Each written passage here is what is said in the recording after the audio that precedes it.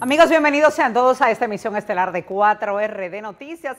Es martes santos, hoy conmemoramos el 177 aniversario de la batalla del 30 de marzo. Les saluda Rafaelina Bisonó, Zulema García en lenguaje de señas y todo un equipo listo con las principales informaciones de hoy en República Dominicana. Así que de inmediato nuestros titulares. Cerca de 800 centros de vacunación laborarán durante el asueto de la Semana Santa. Vicepresidenta llama a la población a reflexionar y no bajar la guardia en Semana Santa para ganarle la batalla al COVID-19. Servicio Nacional de Salud reforzó las emergencias de los centros de la red pública. Organizaciones sociales en Santo Domingo Norte anunciaron que dispondrán de 500 voluntarios en distintas zonas del país. Ministerio de Educación Superior anuncia que para el mes de agosto espera el inicio gradual de clases en universidades. Banco Central da a conocer que el índice mensual de la actividad económica creció un 1.1% en el mes de febrero. En las internacionales, condenan a cadena perpetua hermano del presidente hondureño por narcotráfico. En los espectáculos, con el objetivo de reactivar el sector del entretenimiento, anuncian premio soberano para el mes de junio.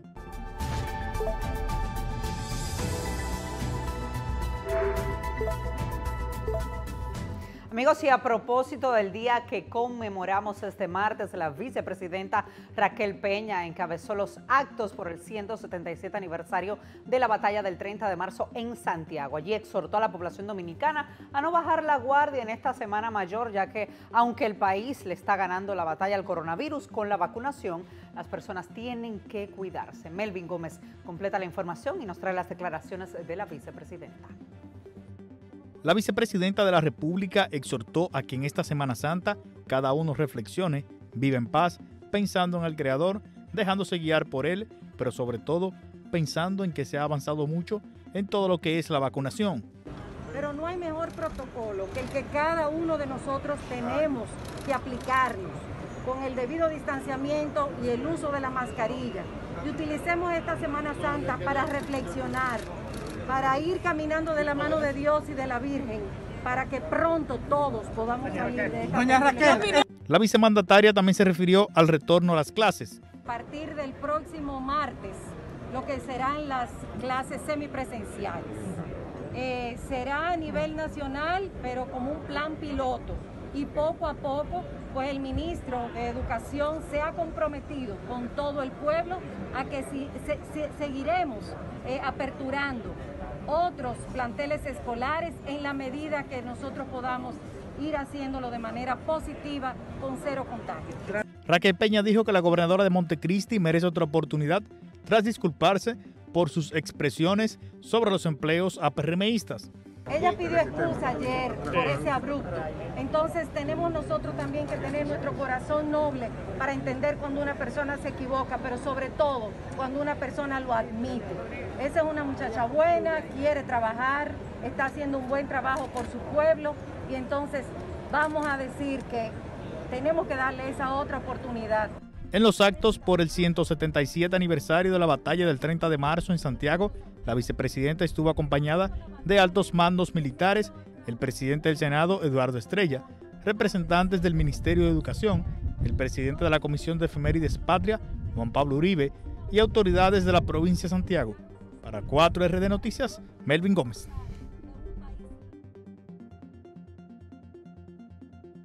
Ciudadanía actuar con responsabilidad y evitar desenfrenos, principalmente en el consumo de alcohol durante la Semana Santa. Yoconda Paulino nos tiene los detalles y las recomendaciones en directo. Paso de inmediato contigo. Muy buenas tardes, Yoconda. Es un problema de conducta. Fue el director del Departamento de Salud Mental del Ministerio de Salud Pública, Alejandro Uribe, quien hizo la solicitud con el objetivo de que así los vacacionistas puedan evitar un alto registro de accidentes de tránsito e intoxicación de menores por consumo de bebidas alcohólicas durante el largo asueto de la Semana Mayor. No es ansiedad, es desenfreno. es falta de control en todos los aspectos. Porque incluso las indisciplinas en la alimentación son problemas en la conducta. El andar a toda velocidad es un problema de conducta. sí. O sea, que el, concepto alrededor del cual tienen que eh, girar todos los esfuerzos para disminuir los eventuales daños que se producen en, esta, en esta, para esta fecha es controlar los comportamientos, evitar los desenfrenos en toda la extensión de la palabra. Asimismo, los expertos recomiendan tener precaución con el cuidado de los más vulnerables, como son los envejecientes y personas con comorbilidades. Hoy mismo de moderación, estábamos pidiendo moderación y sobre todo que estamos en un tiempo de pandemia. Tenemos al COVID y por eso tal y como habla la doctora Grullón de nutrición, le hacemos un llamado también a los obesos un llamado a los que padecen de hipertensión, a, los diabéticos y diabéticas, para que no eh, descuiden en este tiempo sus eh, medicamentos. Las autoridades sanitarias hicieron las recomendaciones a propósito de que durante la Semana Mayor, los dominicanos tradicionalmente suelen incrementar el consumo de alcohol y alimentos ricos en grasas y azúcares y asimismo tienden a reducir sus actividades físicas. En de alimentación, recuerden también que las porciones son muy importantes. Como decíamos ahorita, no nos vamos a privar de por lo menos un día de la Semana Santa consumir las habichuelas con dulce, pero si la vamos a consumir, vamos a tratar de consumir solamente media taza. Los expertos ofrecieron estas informaciones durante el acostumbrado conversatorio que realizan esas autoridades todos los martes, donde también advirtieron sobre la importancia de una buena alimentación y la precaución ante el consumo de mariscos. Para 4R de Noticias, Gioconda Paulino. Señoras, y durante la Semana Santa, las áreas 5 y 6 de salud pública continúan aplicando la segunda dosis de la vacuna contra el COVID-19 a los envejecientes, al personal docente y a los militares. Carmen Aybar nos cuenta cómo se desarrolla la vacunación en estos días de asueto. Aquí lo que estamos agotando. La doctora Ángela Matos, encargada del centro de vacunación, que opera en el pabellón de karate del Centro Olímpico Juan Pablo Duarte, explicó que el día de hoy fueron inoculados más de 400 personas de su segunda dosis contra el coronavirus. Aquí lo que estamos agotando es la fase de los envejecientes, aquellas personas que vienen acompañando un envejeciente que es mayor de 80 años, el envejeciente, pues esa persona independientemente de la edad puede vacunarse. Eh, estamos entonces poniendo la segunda dosis y nada, tratando de agotar el proceso y poder entonces llevar la inmunización que necesita la población para combatir el virus del el coronavirus. Cabe destacar que pese a la celebración de la Semana Mayor, la población capitalina acudió de manera masiva a los centros de inoculaciones para la aplicación de la segunda dosis contra el letal virus. Totalmente con mi mascarilla, eh, tratar de no estar aglomerado, donde haya muchas personas y cuidarme totalmente para seguirme protegiendo. Muy bien, y muy bien atendida también. Ah, ya yo me puse mi primera dosis, esta es mi segunda dosis, estoy muy contenta de estar aquí, nos están atendiendo muy bien. Durante un recorrido de 4R de noticias, se constató que diversos centros comerciales del Distrito Nacional contaban con centros de vacunación. Dentro de los establecimientos que prestaron sus instalaciones para inmunizar a la ciudadanía, se encuentran el Supermercado Nacional de Abraham Lincoln, Multicentro Churchill y Plaza Lama de la Avenida 27 de Febrero. Para 4R de Noticias, Carmen Aybar. De igual forma, el Ministerio de Salud Pública informó que unos 803 centros de vacunación diseminados en todo el territorio nacional continúan desarrollando el proceso de inoculación contra el COVID-19, mientras 54.395 personas ya han sido vacunadas con la segunda dosis. De acuerdo a la entidad, pues el proceso se mantendrá de manera ininterrumpida durante el asueto de la Semana Santa mientras el ministro de Salud, doctor Daniel Rivera, informó que hasta el momento se han aplicado más de 910.869 dosis y de estas, las 54.395 de la segunda. A través de una nota de prensa, el titular del organismo de salud exhortó a quienes tienen pautada su segunda dosis aplicarla en la fecha establecida en su tarjeta de vacunación, sin importar que sea día no laborable por el asueto de Semana Santa. Además, les contamos que el Ministerio de Salud Pública notificó hoy al menos 10 muertes a causa del coronavirus, de las cuales 3 ocurrieron el día de ayer para totalizar 3.313 los decesos acumulados. Asimismo, reportó 202 nuevos contagios por la enfermedad de 3.137 muestras procesadas durante las últimas 24 horas. Con estas nuevas infecciones, la cifra de acumulados se actualiza en 252.384, de los cuales 37.323 están activos.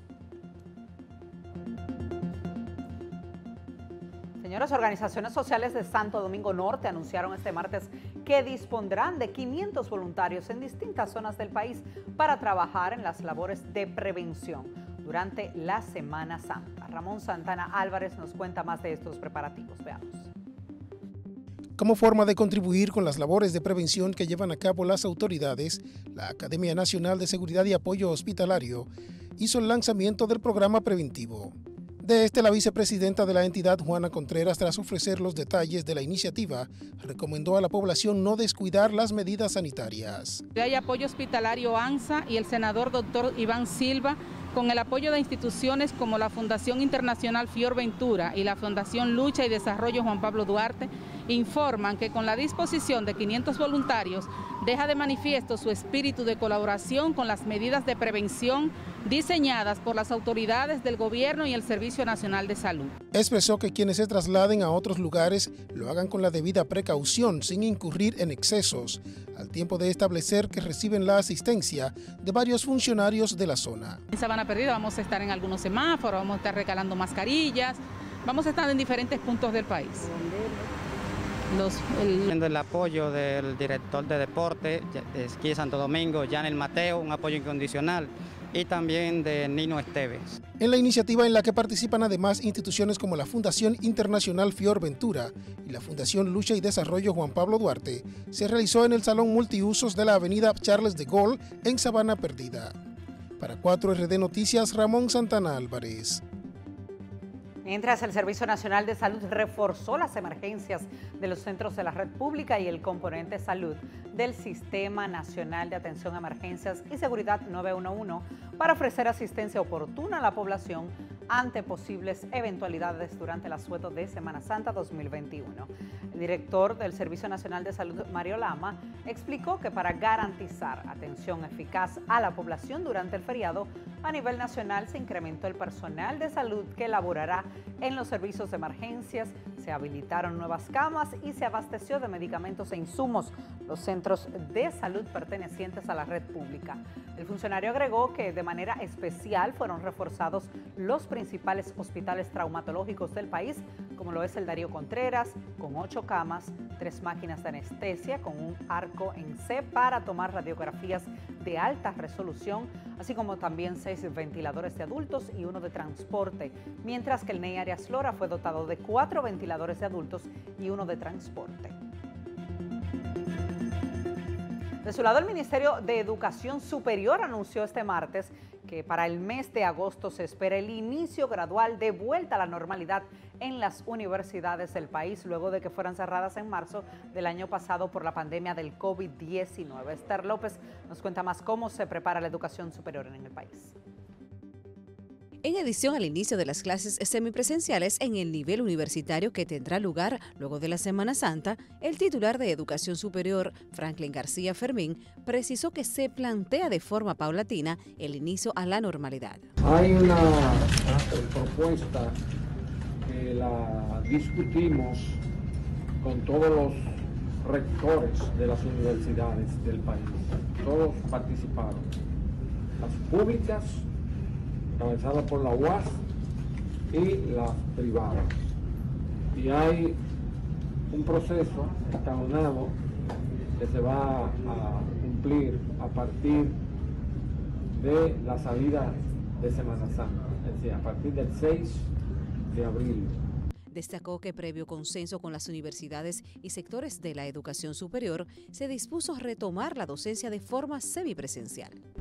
Y para el mes de agosto esperamos que la semipresencialidad es decir, un, proceso mixto, con presencialidad, pero también con la virtualidad. Las universidades empiecen a, a, a vuelta a la normalidad a partir de agosto, para, es la meta, que en enero del 2022 ya podamos eh, volver a la presencialidad. García Fermín fue entrevistado luego de la firma de un convenio con el Colegio Dominicano de Periodistas que facilitará el reforzamiento profesional de los comunicadores con becas nacionales e internacionales. La presidenta del CDP, Mercedes Castillo, valoró el acuerdo por la importancia que reviste para los periodistas. Estos acuerdos buscan actualizar técnicamente, tecnológicamente, y ya con los niveles de posgrado, de maestría y de doctorado a los periodistas. Ningún periodista ahora puede tener excusa de que no puede capacitarse. Becas para todas las maestrías, especialidades y un doctorado en periodismo. Indicó que de lo que se trata es que los comunicadores puedan ofrecer una labor cada vez más acorde con los últimos adelantos de la ciencia y la tecnología. Para 4RD Noticias, Esther López. En tanto cambiemos ahora de tema, los agentes de la Dirección Nacional de Control de Drogas tendrán acceso gratuito a la hora de desplazarse en los sistemas de transporte masivo como el metro y el teleférico de Santo Domingo, tras firmarse un acuerdo por el contraalmirante José Manuel Cabrera Ulloa, presidente de la DNCD, y Rafael Santos Pérez, director ejecutivo de la OPRED. La medida que beneficiará a más de 2.000 agentes a partir del próximo 5 de abril de este año es intransferible. Tan pronto entre en vigencia, los miembros de la DNCD debidamente identificados podrán adquirir su tarjeta o pase del metro de uso personal en la oficina de expedición ubicada en la estación Casandra Damirón próximo al Teatro Nacional. Director de la Policía Nacional, Mayor General Eduard Sánchez, aseguró durante una visita que efectuó a la sede de Radio Televisión Dominicana, SARTV, que los más de 25 mil efectivos de esa institución trabajarán para prevenir daños o pérdidas tanto de vidas como de los bienes de aquellos ciudadanos que se desplacen durante la Semana Santa, dejando sus hogares y otras pertenencias vacías. Veamos. La prevención de delitos contra la propiedad será muy bien resguardados por los agentes policiales que se quedarán patrullando durante la Semana Santa en la capital y otras provincias del interior del país. Estamos fortaleciendo todo lo que es el estamento, las áreas preventivas, tanto en ciudades, en los residenciales, en las avenidas, las playas. Tenemos todo un, amplio eh, eh, rango de protección y de seguridad. Eh, más de 25 mil agentes desplegados a nivel nacional, más de 10 mil miembros del Ministerio de Defensa que apoyan las labores preventivas de la institución, produciendo la, que se cumpla la ley principalmente en los tiempos que hay tanto desplazamiento de, de ciudadanos hacia el interior del país y hacia las afueras, las zonas turísticas. Estas labores preventivas no solo se realizan durante la Semana Santa u otros asuetos. Día a día la institución procura eh, ser más transparente. Don Nelson, nosotros, nuestro equipo, hoy tenemos una policía muy empoderada, eh, muy motivada sobre todo, eh, donde se está reconociendo la la vocación de servicio de nuestros miembros, gracias a la voluntad del presidente, dignificando la carrera. Y esa, esa, ese accionar, esa cultura eh, de ser más cercanos a la sociedad, de velar por los derechos humanos, de la, eh, las actuaciones nuestras que sean cada día más profesionales, con relación a la violencia de género, la Policía Nacional en su proyecto de reforma institucional tiene bien claro qué hacer en este aspecto. A lo interno, nosotros tenemos políticas de control, de supervisión de la actuación policial, tanto de la ética, de la moral y de conducta o de parámetros personales que vayan en contra de la, institución o de, los reglamentos que nos rigen. Eh, La Dirección de Violencia contra la Mujer Nuestra eh, trabaja en Nación Mancomunada con el Ministerio Público. Vieron cómo el superior gobierno dispuso el fortalecimiento de esa dirección para tener más cobertura, más capacidad de respuesta, pero no, tampoco, no solamente la parte de persecución, sino la parte preventiva, campañas, estrategias. Eh, nuestra institución cuenta con un departamento de equidad de género para precisamente vigilar esas conductas, con la parte médica, con la parte psicológica, con la parte disciplinaria también sobre todo. El director general de la Policía Nacional visitó y recorrió las instalaciones de esta Corporación Estatal de Radio y Televisión y fue recibido por el mismo director general de la misma, el señor Nelson Marte. Yo quería eh, felicitarlo particularmente porque usted, en la percepción mía, que es la percepción pública, eh, está cumpliendo a cabalidad la aspiración del presidente Luis Abinader de llevar a cabo una reforma de la policía, llevar al pueblo una nueva imagen de la policía eh, y eso habla muy bien de su trabajo y del equipo que lo acompaña. Visitas como estas de personajes de alto impacto, como el caso del director general de la Policía Nacional, Edward Sánchez, son parte de una estrategia que realiza la Corporación Estatal de Radio y Televisión en aras de cambiar su imagen y de promover una reforma dentro de la misma. Para 4RD Noticias, Luis Villaverde. Señores, mientras tanto cambiamos ahora de tema a partir de este miércoles al mediodía. Los tribunales de República Dominicana suspenden sus servicios de acuerdo con el horario especial dispuesto por el Poder Judicial a propósito de la Semana Santa 2021. Sin embargo, las oficinas de atención permanente de las diferentes jurisdicciones funcionarán de forma regular para dar la asistencia en los casos que puedan surgir. A partir del jueves primero de marzo, la Procuraduría General de la República también suspende sus actividades, primero de abril, pero las diferentes sedes de fiscalías y fiscalías barriales, además de las unidades de atención a víctimas de violencia de género e intrafamiliar y delitos sexuales, seguirán laborando oportunamente.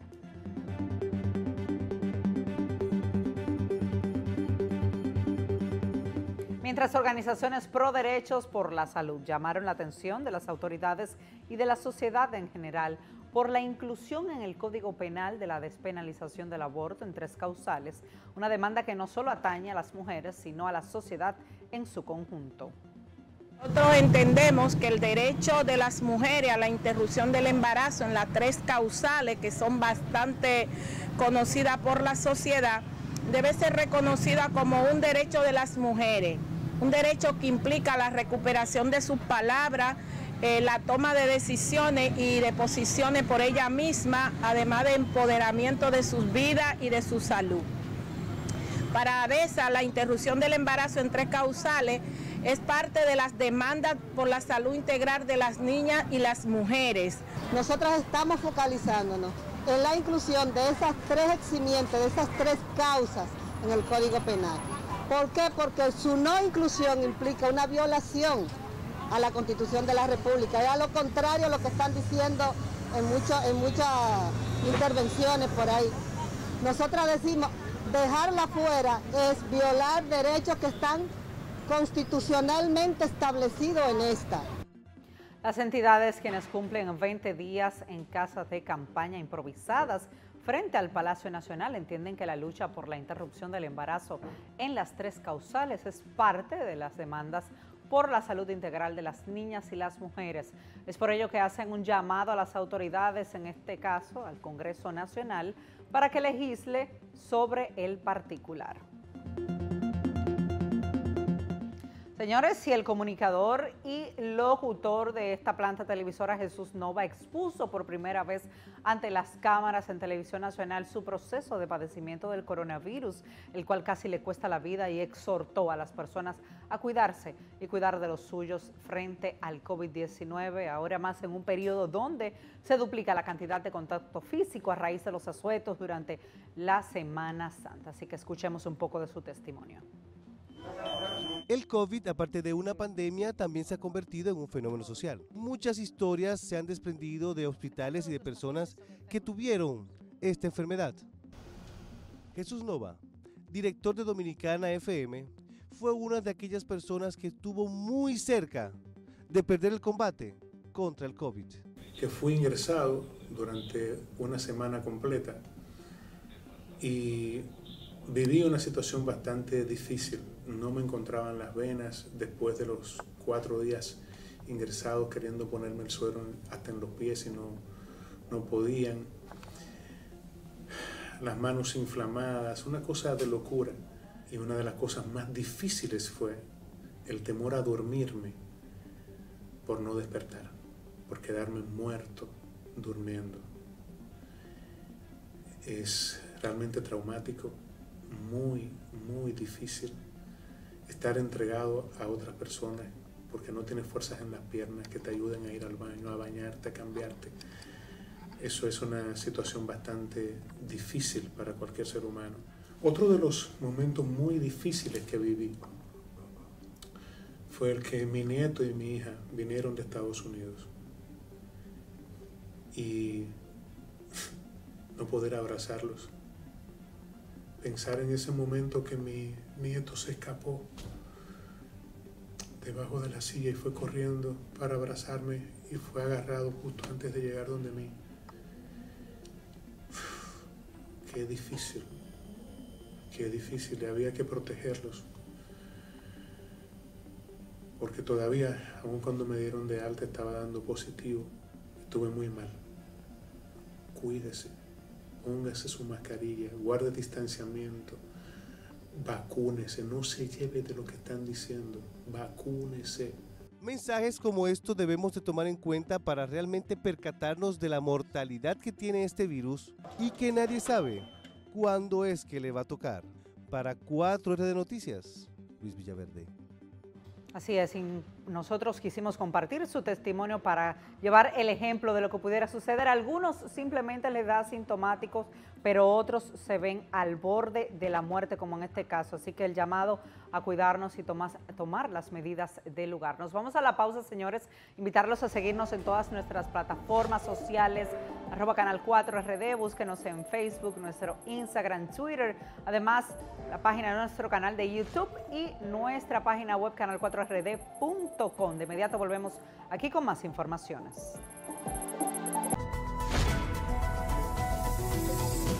Televisión Dominicana CERTV tendrá la más amplia cobertura informativa en Semana Santa a través de los canales de televisión Canal 4RD y RTVD Canal 17, las emisoras Dominicana FM, Quisqueya FM y Radio Santo Domingo y nuestras redes sociales digitales arroba Canal 4RD usted podrá estar informado al tanto de todo lo que acontezca minuto a minuto en toda la geografía nacional.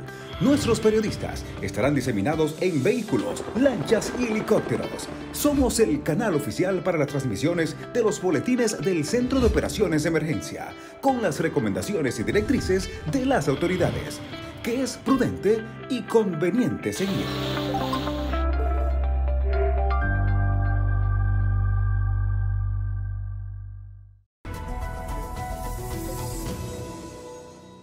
Amigos, aquí estamos de vuelta en 4 RD Noticias. Este martes el país seguirá con la incidencia del transporte de humedad del viento y la vaguada en varios niveles de la troposfera. Por lo tanto, a nivel del clima se espera la ocurrencia de chubascos dispersos y ráfagas de viento hacia las regiones norte, noreste, sureste y algunos puntos de la cordillera central.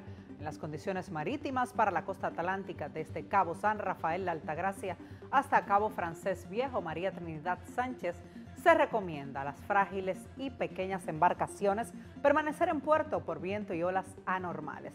En el resto del perímetro costero se recomienda navegar con precaución sin aventurarse mar adentro por olas anormales. La Oficina Nacional de Meteorología indicó que las temperaturas se sentirán agradables en la noche y la madrugada debido al viento moderado del este-noreste.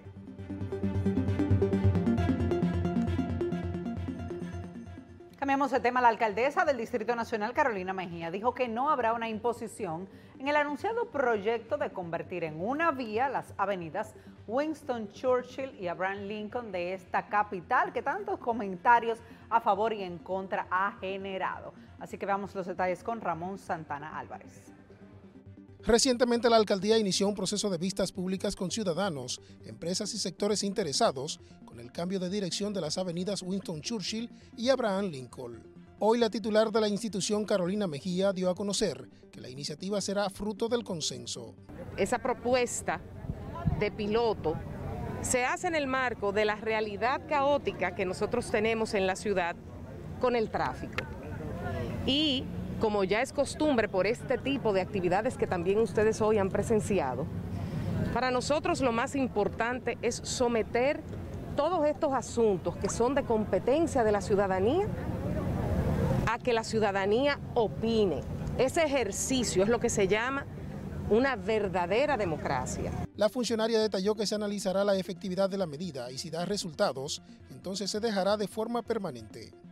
Esto es algo que se ha empezado a, socializar hace muy pocos días y se seguirá socializando con otros, no solamente líderes de opinión, pero como se ha hecho y se seguirá haciendo con comerciantes, empresarios, ciudadanos, residentes de las áreas, digamos, que serán intervenidas o que impactará esta propuesta de manera particular. Por otro lado, en un acto en el sector mejoramiento social, la alcaldesa dejó hoy iniciado el plan de arbolado Siembra tu ciudad, iniciativa en la que cuenta con el apoyo del Ministerio de Medio Ambiente e instituciones que han puesto su empeño en hacerlo realidad. Desde que asumimos la responsabilidad de dirigir nuestra ciudad, lo que nos hemos propuesto fue devolver la ciudad a la gente. En los planteamientos que estamos haciendo sobre incrementar nuestros parques a través de los parques lineales, con el debido arbolado, soñamos con que logremos que sea una ciudad caminable. Resaltaron que la idea es retomar el espacio que gran parte de los árboles en la capital han perdido por años debido a la transformación que ha experimentado la urbe. Para 4RD Noticias, Ramón Santana Álvarez. Señores, el Ministerio de Medio Ambiente informó que después de la Semana Santa anunciará a la población un proceso de saneamiento que se llevará a cabo en la cuenca del río Osama, afectado por el vertido de desechos sólidos. Esther López nos completa la información. Ante las quejas de diversos sectores con relación a la contaminación que producen una generadora de electricidad y varias empresas al río Osama, el ministro de Medio Ambiente Orlando Jorge Mera garantizó que actuarán. Después de Semana Santa le tendremos noticias a toda la población con respecto a, a esa situación. ¿Tomarán medidas? ¿Eh? ¿Tomarán medidas? Sí, claro. En otro orden, el funcionario dijo que en adición a los trabajos de controles que lleva a cabo el gobierno en la frontera, esa institución realiza un proceso de reforestación. La zona fronteriza ya hemos iniciado un plan de reforestación en esa zona y vamos a continuar porque eso es una tarea que no solamente es eh, plantar eh, árboles, sino también que implica educación ambiental y también Estamos trabajando en, algunos proyectos de carácter social en toda esa zona fronteriza, sobre todo desde, desde Elías Piña hasta Restauración de Jabón. El ministro de Medio Ambiente fue entrevistado en el marco del lanzamiento del plan de Arbolado Siembra tu Ciudad de la Alcaldía del Distrito Nacional, acto que se realizó en el sector Mejoramiento Social y que cuenta con el apoyo de esa institución. Para 4R Noticias, Esther López. Señores, el Banco Central de República Dominicana dio a conocer este martes que el índice mensual de la actividad económica creció un 1.1% durante el mes de febrero, con lo que se deja atrás 12 meses consecutivos de retrocesos en materia de crecimiento como consecuencia de la crisis sanitaria del COVID-19. Ramón Santana Álvarez amplía los detalles. La economía dominicana comienza a recuperarse de acuerdo al informe del Banco Central según las predicciones de organismos internacionales. El gobernador del Banco Central, Héctor Valdés Albizu, destaca que este crecimiento que ha comenzado en febrero cambia todo el panorama esperado. Organismos como el Banco Mundial han vaticinado para finales de este 2021 un crecimiento por el orden del 5.5%, situando el país como el más alto de la región en cuanto al crecimiento. Lo anterior revela sin lugar a dudas el correcto manejo de la economía nacional de parte del presente gobierno del presidente Luis Abinader. Para 4RD Noticias, Ramón Santana Álvarez. Señores, precisamente también el Banco Mundial proyecta una economía en República Dominicana de crecimiento en un 5.5% del Producto Interno Bruto. Nuestro compañero Marcos Nivar nos cuenta todos los detalles en las económicas.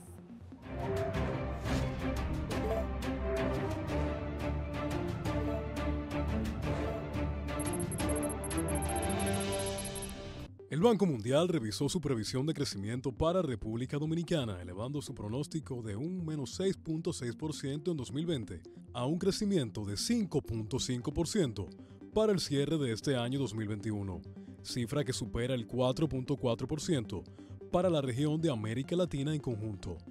En un informe presentado vía web, el organismo financiero multilateral se acerca con ello a las previsiones de la firma calificadora de riesgo crediticio Moody's que prevé para este año un crecimiento de un 6% de su Producto Interno Bruto. El dirigente de Alianza País en el exterior, Luis Mayobanes Rodríguez, saludó la iniciativa sometida en la Cámara de Diputados por la diputada Iris Familia, que busca modificar el decreto 430-17 para que sean excluidos los dominicanos en el exterior del cobro de 10 dólares que se aplica a través de las tarjetas de turismo incorporadas a los pasajes aéreos y marítimos para quienes ingresan al país. Rodríguez, quien es coordinador de este partido para el exterior, indicó que con su proyecto de resolución, la diputada de Ultramar fortalece la campaña iniciada semanas atrás por Alianza País y con la cual se ha estado reclamando al presidente Luis Abinader la modificación del mencionado decreto. La empresa de transmisión eléctrica dominicana reveló que en la actualidad están en ejecución en el país casi 20 proyectos de transmisión de energía por una inversión de alrededor de 200 millones de dólares, es decir, cerca de 10 mil millones de pesos. Martín Robles Murillo, administrador general de la ETED, dijo que hasta el momento el sistema está funcionando bien y que cada día están mejorando la operación y haciendo mayores inversiones para obtener mayores cantidades de líneas en todo el país. Para este martes, el dólar se estará comprando a 56 pesos y se venderá a 57.95 pesos, mientras que el euro se estará comprando a 65.45 pesos y se venderá a 69.05 pesos. En las económicas, para 4R de Noticias, Marcos Nivar.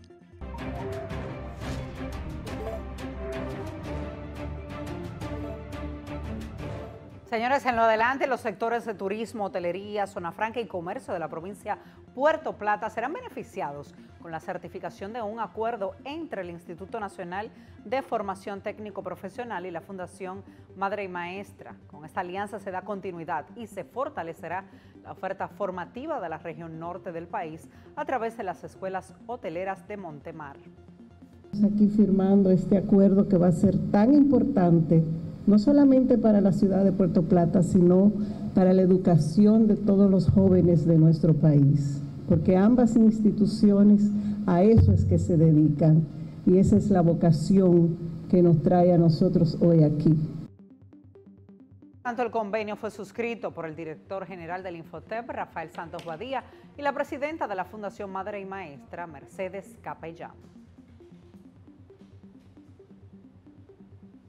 Una comisión deportiva del municipio Yamasay el municipio Peralvillo, en la provincia de Monte Plata, realizaron el clásico Ochoa en homenaje póstumo al destacado instructor de béisbol Darío Moreno Marte, quien perdió la batalla contra el COVID-19.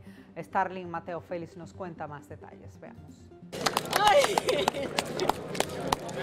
¡Ay, recordaremos como una forma de resaltar y dar méritos a quien en vida fue precursor de desarrollo deportivo en el municipio de Yamasá y Peralvillo. Una gran comisión deportiva, autoridades municipales y la sociedad civil realizaron un homenaje póstumo al fenecido Darío Moreno Marte, alias Ochoa. Esta actividad es un homenaje a un personaje que perdimos de tiempo, un personaje que fue una de las personas que más eh, influyó en el tema béisbol en el municipio de Yamasá, la provincia de Monte Plata y probablemente la región este. Nos referimos a Darío Marte, Moreno Marte, cariñosamente Ochoa. Ochoa lo perdimos fruto de la pandemia y no lo pudimos ni siquiera despedir. Entonces en el día de hoy quisimos hacerle un, un, homenaje póstumo. Esta actividad se le estamos haciendo a un grande entre los grandes, Darío Moreno Marte Ochoa, conocido nacional e internacionalmente en el ámbito del béisbol, Scout, Cazatalento, quien firmó más de 30 peloteros, que hoy hay 10 que están en Grande Liga y hay 5 que están jugando en torneo invernal en la República Dominicana. Ochoa perdió la batalla con el COVID-19, dejando un legado en el deporte, tiempo que los familiares del destacado instructor deportivo agradecieron el gesto de amor y aprecio con su pariente. Gracias a todos los que nos han acompañado en esta actividad, a todos los que hicieron posible este gran evento. O sea, la población en sentido general, eh, que se ganó el aprecio de todos ya que ayudó, a muchos jóvenes a abrirse camino en, lo que es la pelota. Con la presencia del alcalde por el municipio de Yamasá, Neno Bisonó, y el alcalde por Peralvillo, Juan Francisco Manzueta, inició el juego de béisbol, donde el equipo de Peralvillo salió victorioso ante el equipo de Yamasá. Para 4RD Noticias Regionales, Starling Mateo Félix. Bueno, paz a su alma y fortaleza para sus familiares. Señores, nuevamente nos vamos a una brevísima pausa comercial. De inmediato más noticias aquí en este noticiero. No se vaya. Televisión Dominicana CERTV tendrá la más amplia cobertura informativa en Semana Santa a través de los canales de televisión Canal 4 FD y RTVD Canal 17, las emisoras Dominicana FM, Quisqueya FM y Radio Santo Domingo y nuestras redes sociales digitales arroba Canal 4 RD. Usted podrá estar informado al tanto de todo lo que acontezca minuto a minuto en toda la geografía nacional. Nuestros periodistas estarán diseminados en vehículos, lanchas y helicópteros. Somos el canal oficial para las transmisiones de los boletines del Centro de Operaciones de Emergencia, con las recomendaciones y directrices de las autoridades, que es prudente y conveniente seguir.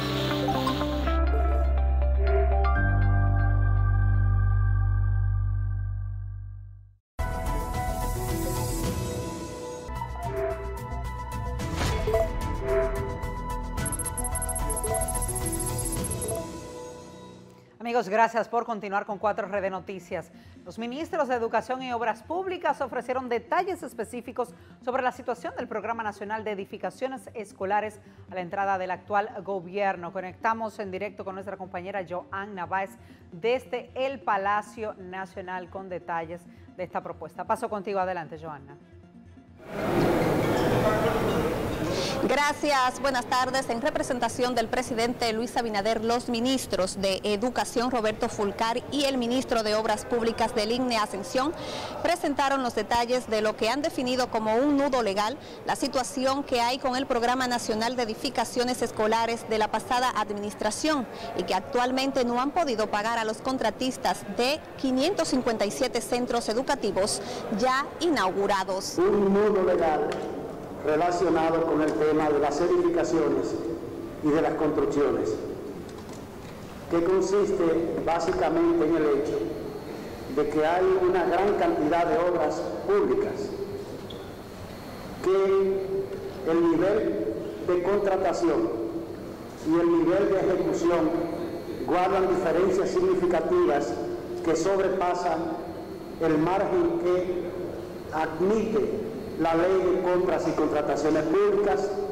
que es de un 25% por encima del monto contratado.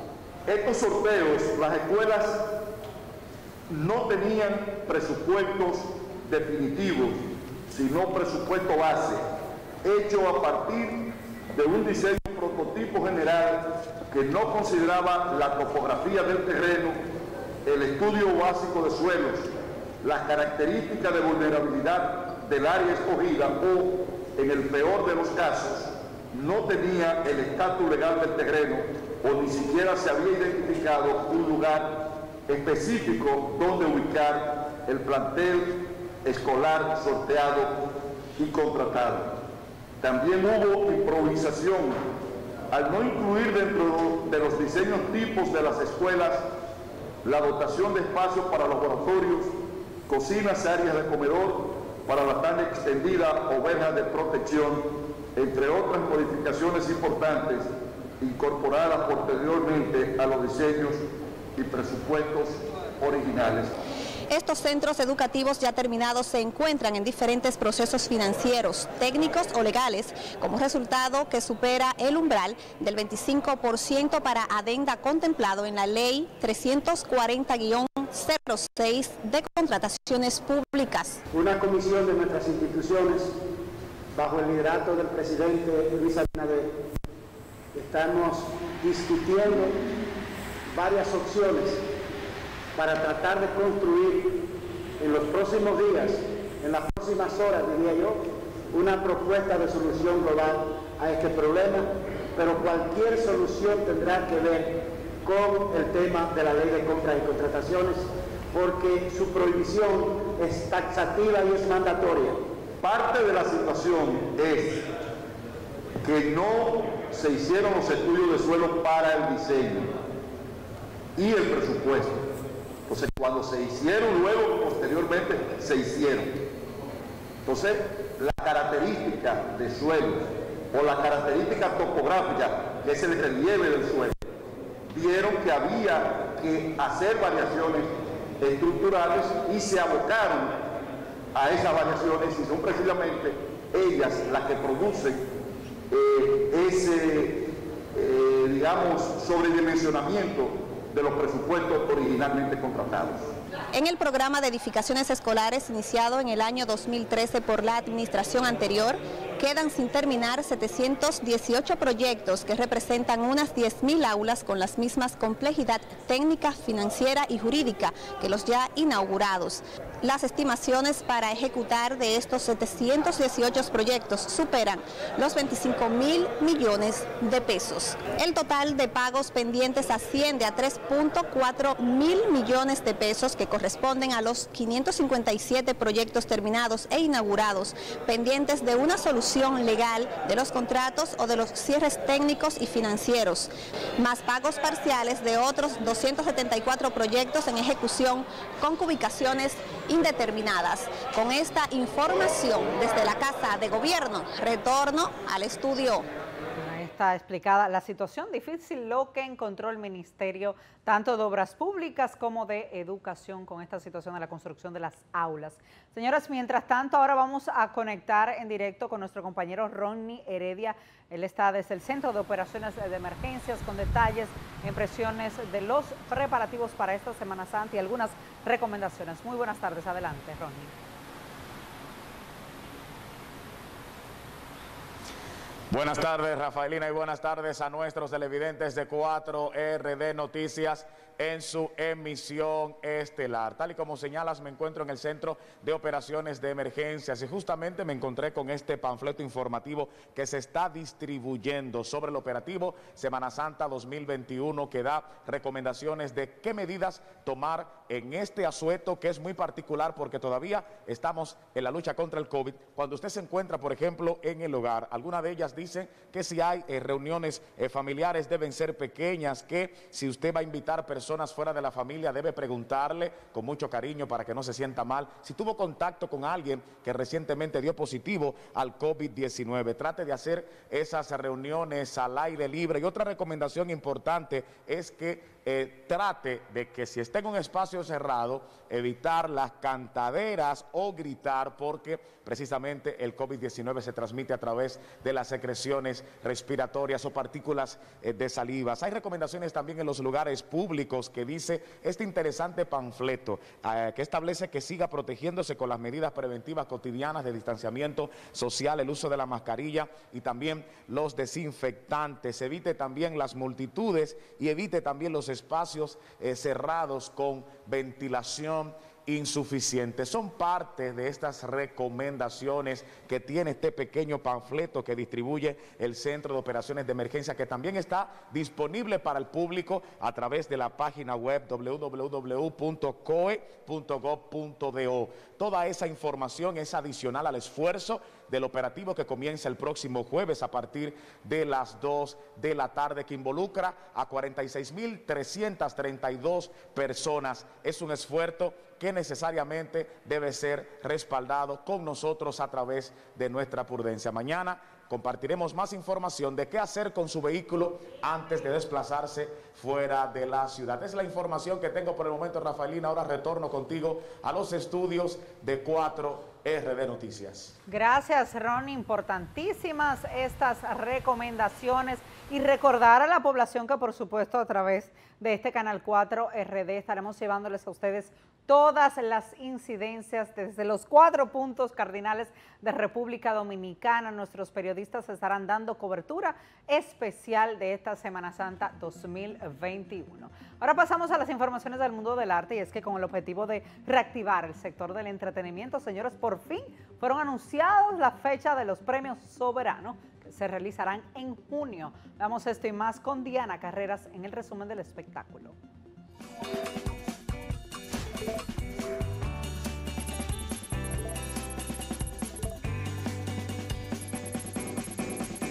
Bajo el eslogan Historia que nos hacen soñar, los organizadores de la décima edición del Festival de Cine Dominicano en Nueva York anuncian oficialmente a todos los interesados en participar en la convocatoria de inscripciones que ya están abiertas. Esta décima edición será celebrada en el mes de octubre del 2021. Premios Soberanos regresa como una plataforma que continuará con su rol de reconocer los logros del sector artístico, al tiempo que trae un nuevo formato que brindará oportunidades de desarrollo al talento dominicano. El premio será llevado a cabo en junio en formato semipresencial y tendrá el Teatro Nacional como escenario principal. La próxima gala de los Oscars no se emitirán en Hong Kong por primera vez en más de 50 años, a pesar de que el territorio compite en la categoría de la mejor película internacional por la cinta Better y de otro cortometraje candidato que repasa las protestas antigubernamentales de 2019. La modelo dominicana María Vargas, que recientemente visitó El Salvador para participar en Miss Petit Internacional, se alzó con la corona en el certamen de belleza. La joven de 25 años también obtuvo la presea de Miss Petit Popular del concurso que se desarrolló del 21 al 27 de marzo. En los espectáculos para 4R de Noticias, Diana Carreras.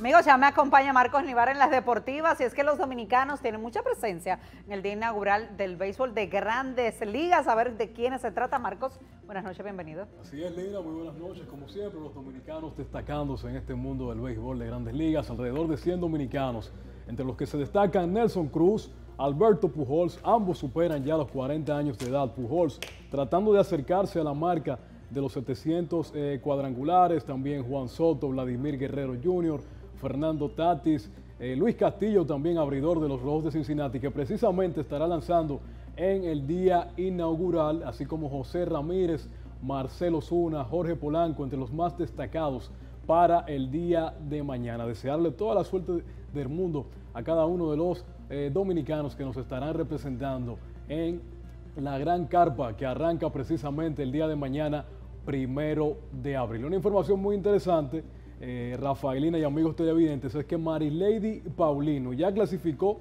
a los Juegos Olímpicos de Tokio 2020, la única hasta el momento de la selección nacional de atletismo y siendo la atleta número 19 que ya está confirmada su clasificación rumbo a los Juegos de Tokio. Están las reinas del Caribe, también la disciplina de ecuestre, un atleta de canotaje y las tres plazas también de la disciplina de Taekwondo. 19 atletas confirmados para este magno evento que arrancará el próximo 23 de julio.